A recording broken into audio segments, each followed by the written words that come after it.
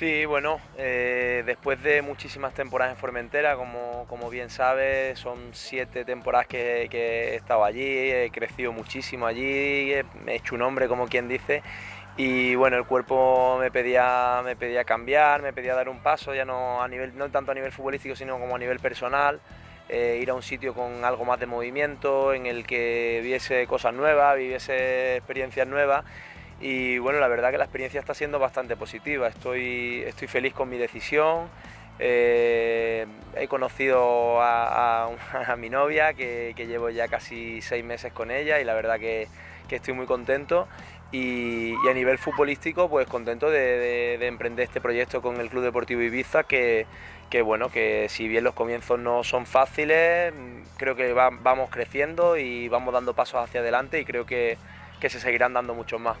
Sí, pues como, como dices, ha sido un año distinto para mí, muy raro, en el que no estaba, no estoy acostumbrado a haber estado tanto tiempo fuera de un campo, y, pero muy contento. Creo que el resultado final lo he conseguido, que era el volver a jugar, volver a sentirme bien, volver a que la rodilla volviera a estar como antes. Entonces, muy contento del proceso, de cómo ha ido y muy, muy ilusionado de, volver a jugar, de volver a poder ayudar, ayudar al equipo y de los partidos que quedan, poder ayudar en lo que pueda para conseguir el objetivo que es estar en segunda vez el año que viene.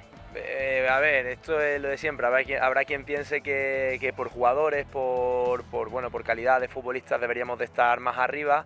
Eh, pero sí que, sí que pienso que, como te he dicho, los inicios casi nunca son fáciles. ¿no? Al final este, este club es su primera temporada en tercera división, es una plantilla absolutamente nueva. En la primera vuelta hemos tenido muchos cambios, hubo hasta 3-4 compañeros que salieron, 3-4 que entraron.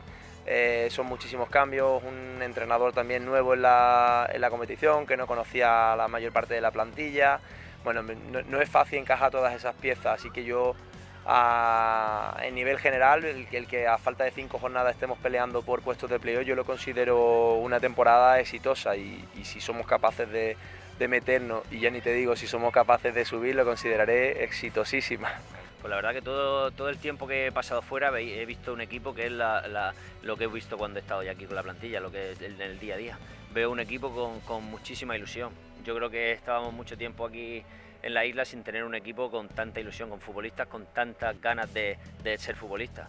Ganas de ser futbolistas, de, de jugar en segunda vez, de hacerlo bien para que el año que viene pueda mejorar cada uno su situación y entonces la verdad que eso se transmite desde los más jóvenes a los, más veteranos.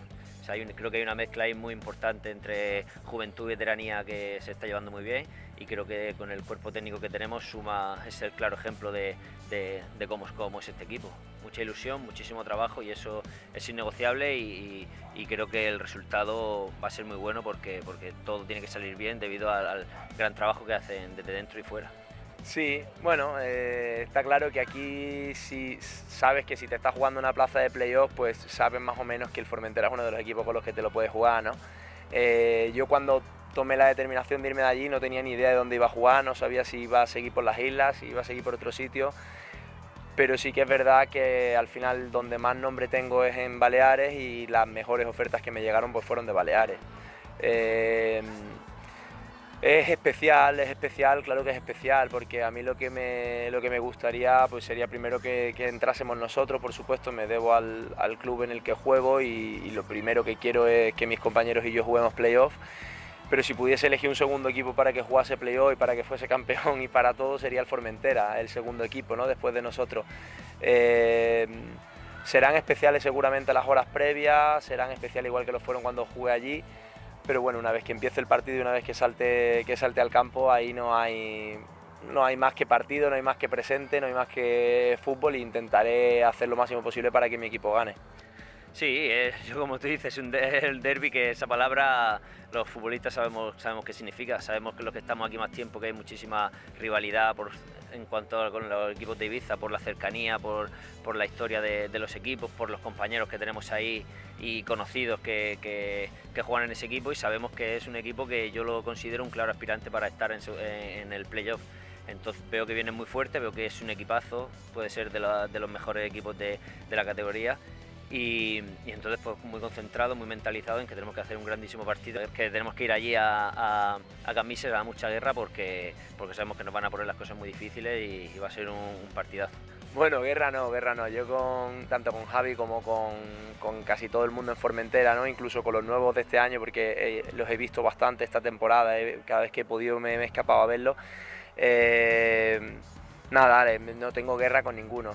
Siempre, siempre estará en mi corazón Formentera y la gente de allí. Y a Javi, pues bueno, decirle que él sabe que he estado siguiendo su evolución de la lesión durante todo este año, que me, hizo muy feliz verle, verle volver a competir que, evidentemente esta no es la temporada que más va a disfrutar porque todavía necesita curarse del todo bien, tener la rodilla perfecta, pero que, prontito estará, estará en los terrenos de juego y, bueno, de cara al día 1 de mayo, Javi, voy a, voy a por vosotros, lo siento.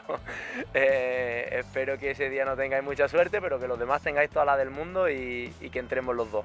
Bueno, pues Marco, como dices, es un grandísimo amigo, creo que es toda una, institución aquí en, las Islas Baleares, porque se lo ha ganado a pulso con todo lo que, con todo lo que ha conseguido con el Formentera y ahora viéndolo desde la lejanía como están, pues muy orgulloso y muy contento de, cómo le está yendo las cosas. Y nada, y el mensaje decirle que, sepa que si me toca tirar algún penalti o algo, ya sabes que van fuerte a la escuadra, que por ahí, por ahí no va bien, ya me conoces.